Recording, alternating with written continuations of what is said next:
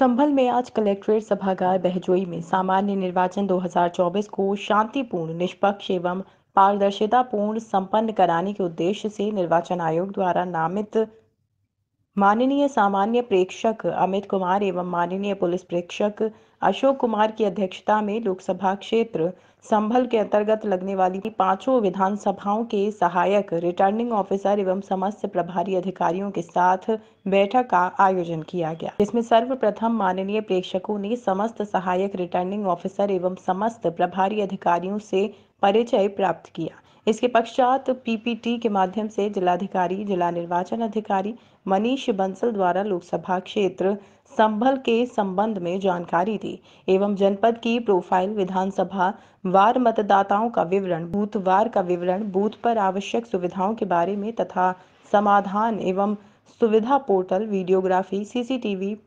model booth, pink booth strong room control room route charge BLO की जानकारी service voter की जानकारी critical मतदान केंद्र वनरेबल मतदान केंद्र वेबकास्टिंग एवं ईवीएम वीवीपैट मशीन की उपलब्धता, सुविधा केंद्र पचासी वर्ष से अधिक आयु के मतदाताओं के आंकड़े, मतदान कार्मिकों की रवानगी स्थल आदि के विषय में।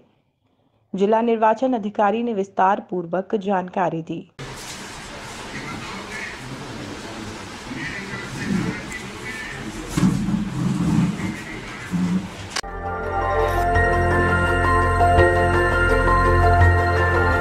देखते रहिए डीबी भारती समाचार।